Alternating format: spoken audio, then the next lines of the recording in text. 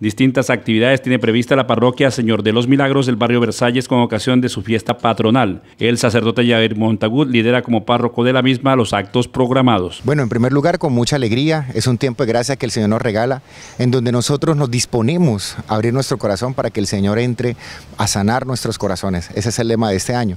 Y a propósito de eso, queremos invitarlos a que se acerquen, a que vivan este tiempo de gracia a través de la novena porque es para nosotros un privilegio presentarles a ustedes ese regalo que el Señor nos da para que podamos vivir un tipo de relaciones sanas dentro de nuestra familia.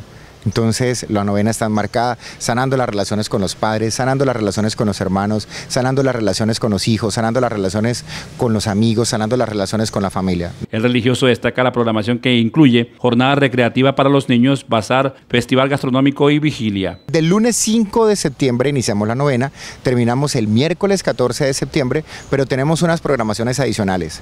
El sábado 10 tenemos a las 3 de la tarde una actividad con niños, en la noche actividades culturales, baile, integración.